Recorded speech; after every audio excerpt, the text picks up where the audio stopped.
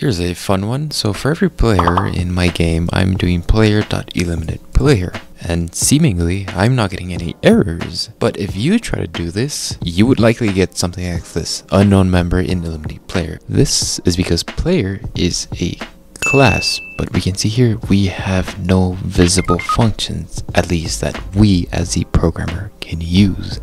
So trigger is a class and in here we have a bunch of functions which we can use with a trigger device. For example here I can call trigger.trigger .trigger because as you can see here trigger is a function belonging to the trigger device class.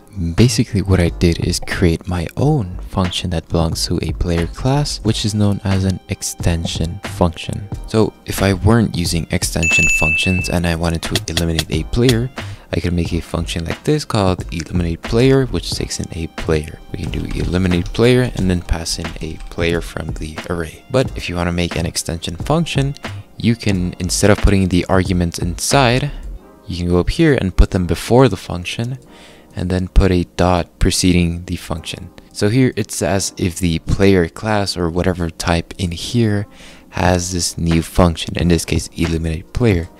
And then you notice here this layer y, which is the variable. And in here we can just reference the variable and do with it whatever we please. And that's why I can call player.eliminate player. So to define an extension method, we first pass in the variable name followed by the type and we enclose this in parentheses then we follow it by a dot and then after that just define a function as you normally would. You can even pass arguments in here. So for example let's say damage of type float. You can see here now we expect an argument which is the damage so i can do 100.0 and that's all nice. And what's cool about these is they work with any type in Verse. So for example if i wanted to make a function that calculates the square root of a number number remember we pass in the name of the variable then the type integer dot square. Print number uh number.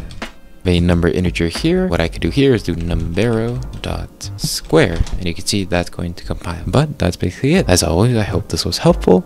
And yeah